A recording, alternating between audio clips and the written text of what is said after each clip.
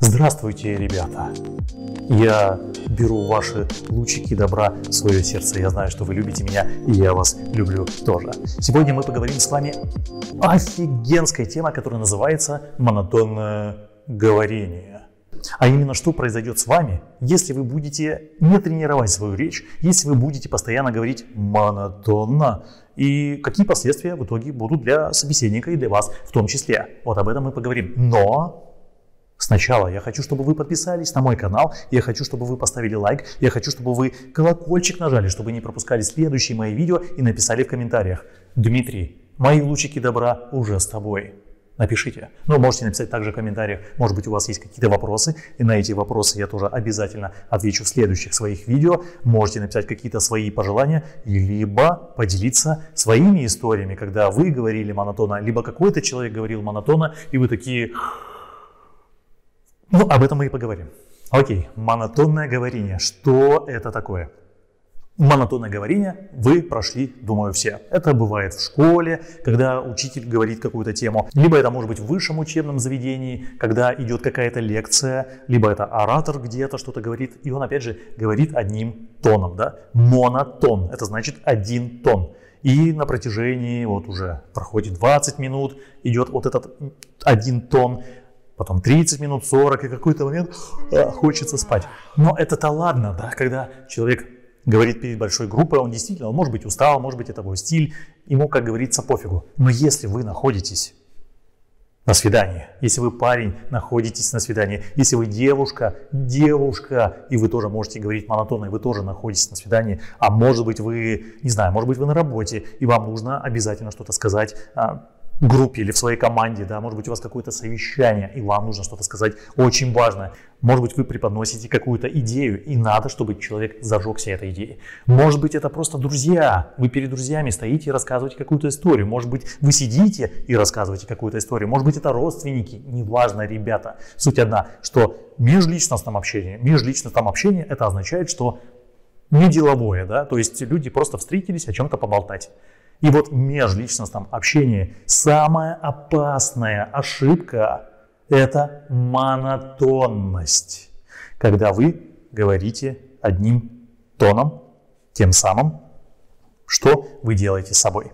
Как вы позиционируете себя на подсознательном уровне вашего собеседника, а он вас в этот момент слушает, и у него автоматически включается вот это оценивание вас, когда вы говорите монотонно. И что включается? Поехали по пунктам. Первое. Вы скучный. Если человек хочет зевать, он с вами разговаривает, и вот он захотел зевнуть, ну, действительно зевнуть захотел от вас, да, не потому что он там поел большой кусок мяса съел, либо он сегодня целый день работал, и вчера он не выспался, а именно он зевает от вашего монотонного говорения. Автоматически вот этот зевок переносится на вас, вы для него позиционируетесь через некоторое время, когда он так зевнул, позиционируетесь как скучный. Окей, это только начало. К первому пункту я добавлю подпункт. Вы сами создаете у человека сон. То есть человек хочет вздремнуть, да, он начинает зевать. Это не есть хорошо.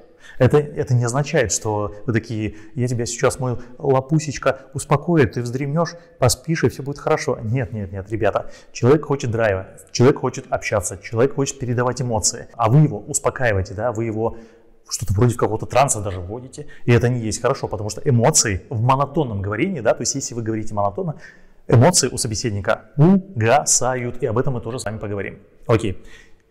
Второй пункт, да, к чему приводит монотонное говорение. Второй пункт – это не хочется слушать. Но если ты скучный, почему тебя должны слушать? И это правильно. Некоторые обижаются, думают, ну, ну почему он меня не слушает? Я же вот с ним разговариваю. Он имеет право, собеседник имеет право даже сказать тебе, слушай, это скучно. Это скучно, это правда. И он имеет право. И дело не в собеседнике, а в вас, а именно в монотонном говорении. Следующий пункт – это Кажется, что вы не просто скучные. Кажется, что вы зануда. Зануда это еще хуже, чем скучный. Скучный, ну это такое, можно еще перебить, да, человека сказать что-то свое. Ну скучно, я что-то могу добавить от себя. Но зануда, Это второй level, да, это максимальный level, в котором человек вас позиционирует, что с вами нечем разговаривать абсолютно. И не просто нечем разговаривать, от вас хочется уйти. Ну вы зануда, да. При этом вы можете говорить очень интересную тему в своей голове. То есть вы зажигаетесь, думаете, сейчас я поделюсь с ним, как я умею классно готовить супчик черепаший. А снаружи происходит вот так. Я вчера, Марина, купил черепаху Мертвую, конечно, уже. И я добавил ее в кастрюлю. В кастрюле она варилась. Я посмотрел, как готовится черепаха. Черепаха готовится... А внутри у вас я так потрясающе купил черепаху и сейчас готовлю ее. Она такая классная.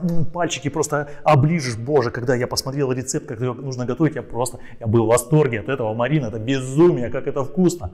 А снаружи. И вот я размешиваю ложечкой черепаху, и Марина думает, о боже, зачем я пошла с ним на свидание? Ну он же зануда. И потом она пойдет к своим подружкам, подружки спросят у нее, ну как, ну как?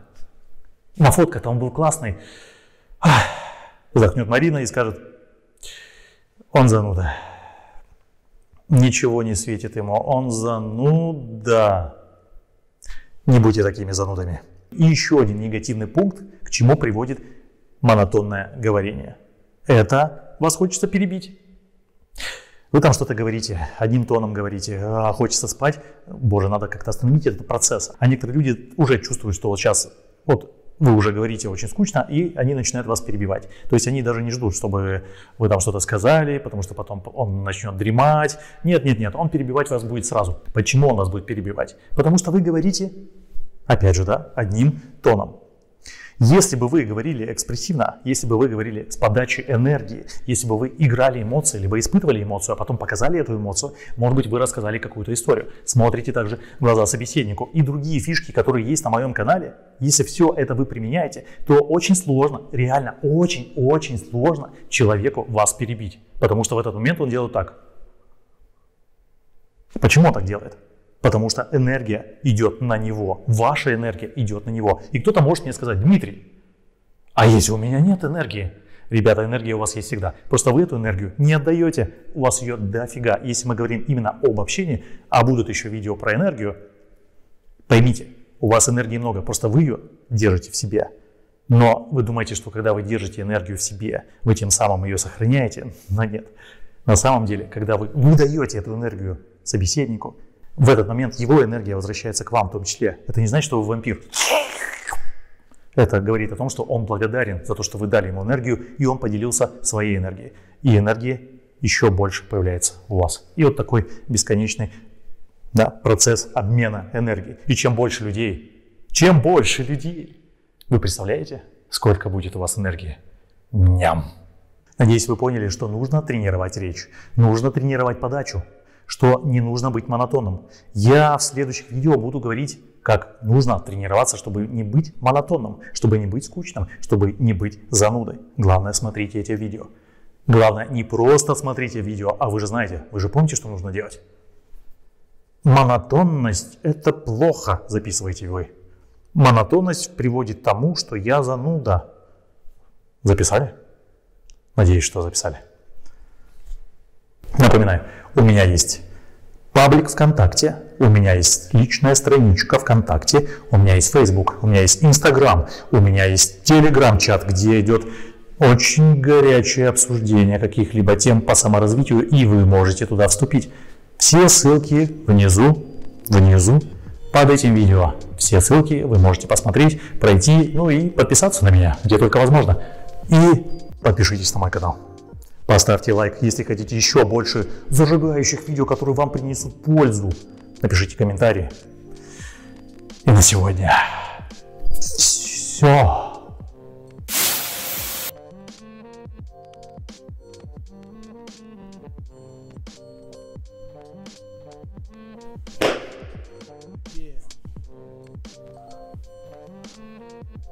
Пока-пока. Пока-пока.